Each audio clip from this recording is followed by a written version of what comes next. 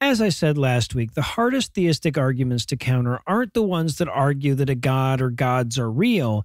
The fact that gods aren't real pretty much nails all of those arguments to the wall. The hardest ones instead are the arguments along the lines of even if it's false, religion X still accomplishes thing Y and thing Y is beneficial.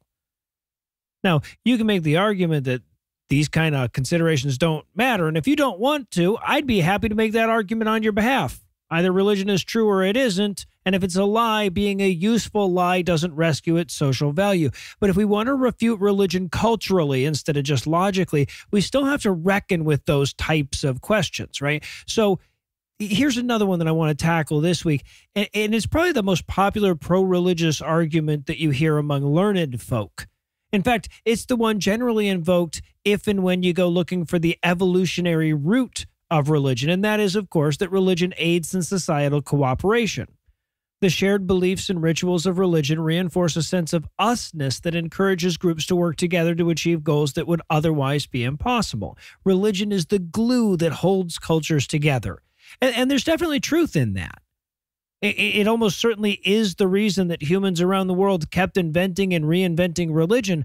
But just because something evolved to do a job doesn't mean it does it well the human eye evolved to see, but that didn't stop it from being upside down and backwards. These days, we can achieve the same amount of societal cohesion by eating at the same fast food places and watching the same movies.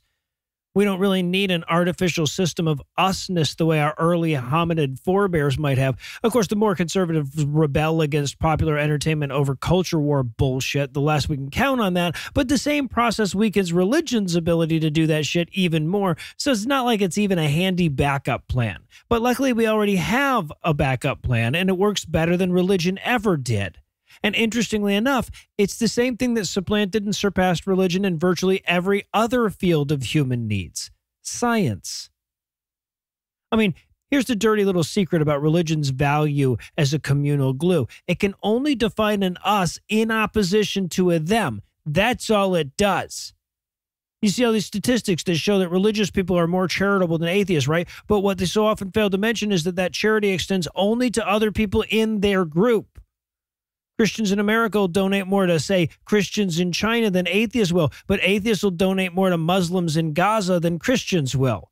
It's why Christians do better than atheists when it comes to donating to charity, and atheists do better than Christians when it comes to supporting policies that would permanently fix the issues creating all the need for charity in the first fucking place. But as ever, where religion fails, science succeeds. Now, don't get me wrong, science has plenty of blood on its hands in terms of creating us's and thems but it at least allows a plausible universal goal the advancement of knowledge. You don't have to be an us for that to matter. You don't even have to be a human for that to matter. I, I was thinking about this last week. I was reading a book about the transit of Venus back in 1769. Right, that's the one where astronomers the world over try to definitively measure the distance between Earth and the Sun by observing the transit from all different latitudes and then comparing notes. And it's it's a fascinating story. I'll, I'll, probably do a citation needed episode about it or something because, of course, it was way harder to get people all over the world with precision equipment back in 1769. It was way harder to coordinate. It was way harder to compare notes afterwards, but it happened. Countries that were at war contributed together to this grand scientific enterprise. And as often as it's faltered along the way, ever since then, science has been the focus of these grand cross cultural endeavors. Whether we're talking about mapping the human genome or crunching the data from the LHC or building a space station bigger than a football field, these are things that you need international cooperation for. And they're things that don't benefit anybody unless they're shared with everybody, right? What fucking good is it to learn the distance between the earth and the sun and then keep that knowledge to yourself? The very pursuit demands it be open. So, yeah, look, religion was a useful cultural glue. Evolution has testified to that. But you know what else was useful? Were fucking rock hammers. We've moved on as a species. What we need now are systems that can glue cultures to one another, an us that doesn't demand to them. And when it comes to the ability to do that, nothing else has ever come close to science.